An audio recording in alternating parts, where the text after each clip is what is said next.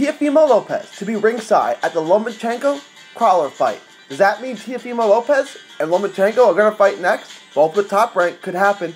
We get into that next. Please like and subscribe. Help us hit 10,000 subscribers. Leave us a comment below. Welcome, welcome, welcome. Uh, welcome to another episode of Friday Check Hook. Uh, according to a BoxingScene.com article, uh, will be ringside for the Vasily Lomachenko uh, versus Crolla fight. I don't know where Teofimo Lopez and his team, Top Rank, is going with this. I, don't know what they're going to do about this.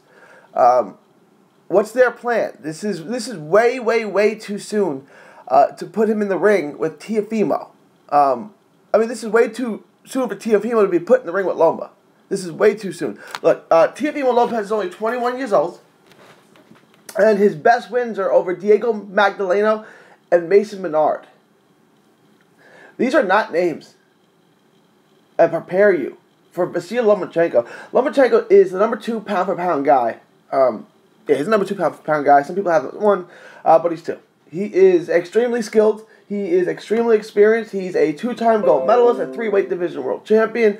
Uh, he's got every credential, every accomplishment um, you, you would want in the sport. He is uniquely talented and skilled.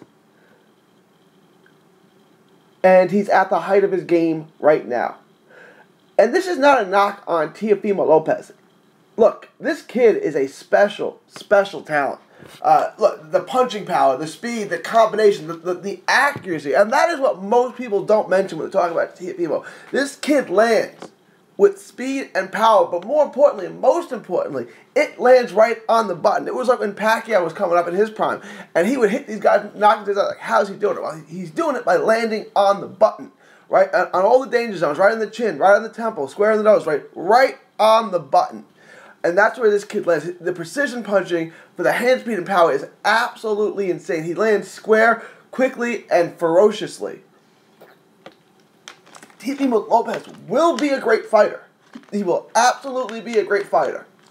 But it's way too soon. Look, you can't put him in the ring there with the best guy or the second best guy in the sport. The best guy in the weight class. For sure. Uh, one of the best guys, one of the best two guys in the entire sport. It's not going to work. He could. He doesn't have any experience. He's not tested. Uh, uh, look, the haters get on Lomachenko for his loss to Salido. Look, it battle tested him. There was a silver lining in that. Salido missed weight. He came in heavy. He hit Loma low a thousand times, beat him up, pushed him around, posted his will on him, and gave him a lesson. He won. He beat him up and won the fight. Salido won, and I don't care. Look, I'm not a Loma fan. I'm not a Loma hater. It is what it is. Salido beat him. Salido missed weight. He, he, he roughed him up. He made it a dirty fight. He toughened Loma up. He battle tested Loma. There was a silver lining in that Salido fight that he had to dig deep. Teofimo Lopez has never even been pushed. He's never been tested. So you're gonna go from Mason Menard and Diego Magdaleno to the to Vasily Lomachenko. He will school you. If you think he's gonna just walk through Loma, you're not a serious person. You aren't a serious person. He doesn't have the experience to take out a top two guy in the entire sport. That comes with time. I don't care how good he is, and he is special and he is talented. So Top Rank better not be thinking what we all think they're thinking, or what the Boxing Scene article assumes that they're thinking. Now we saw Manny Pacquiao, right? We saw Pacquiao go to a Spence fight, and he obviously has no interest in fighting him. You know, um, I, I don't know if uh, you. Apparently, Pacquiao thought Garcia was going to win, and he wanted to fight Garcia. He never really wanted to fight Spence. Um, but now he wants, you know, so I, maybe Teofimo Lopez thinks Crolla's going to win. I don't know. I don't know. Maybe even Crolla winning is no crazier than Garcia winning, which is why Pacquiao was there. Apparently, Pacquiao has no fight interest in fighting Spence. Maybe you know, Teofimo has no interest in fighting uh, Vasily Lomachenko. Maybe he's a Loma fan. Maybe he's just there to watch Lomachenko, right? You know, I don't know. Uh, but putting him in the ring is an awful idea.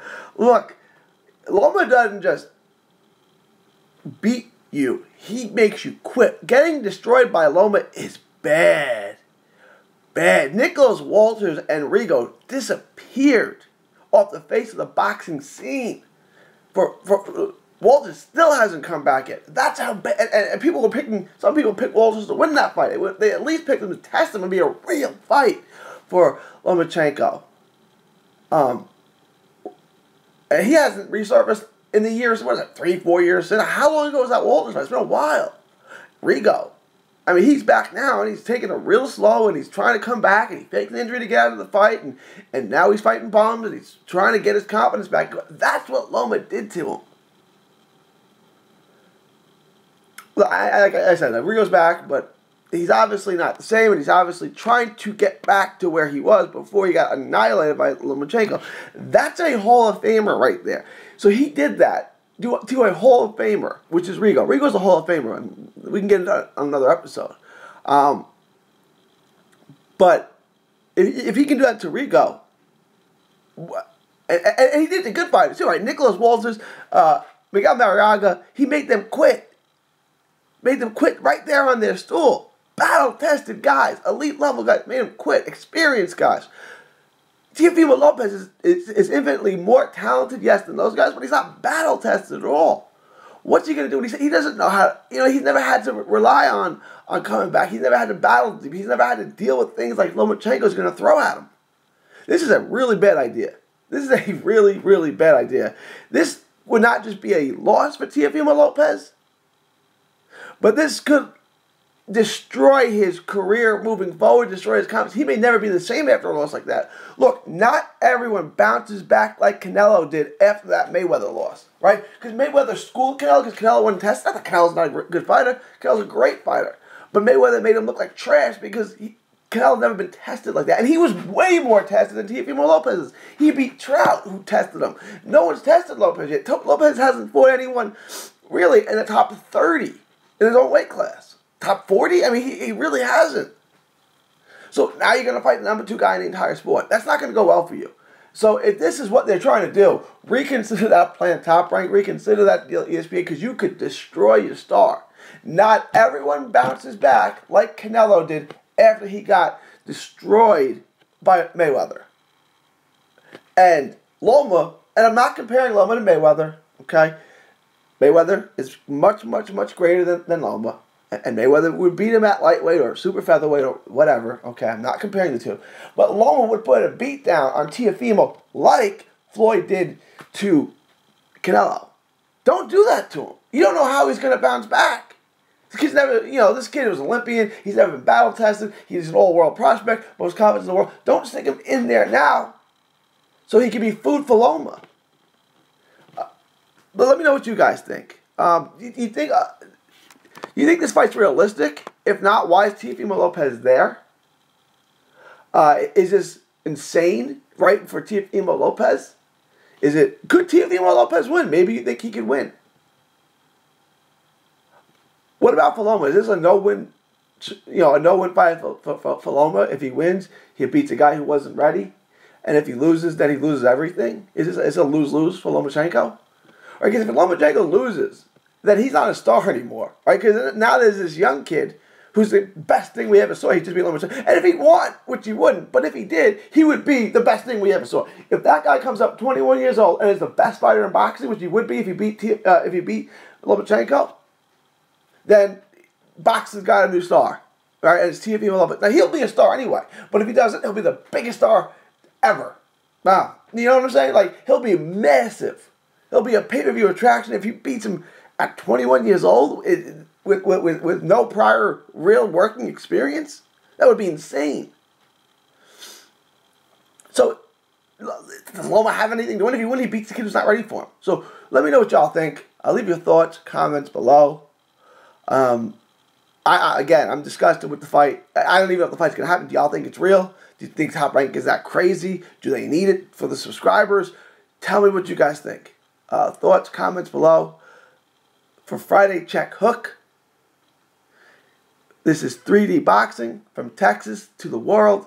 Signing off saying thank you and God bless. Enjoy 3D Boxing vlog videos? Show us some love by clicking the like button. Don't miss a tweet, post, story, or video. 3dboxingblog.com is also on Facebook, Twitter, and Instagram. Hit the subscribe button now to stay inside the ring.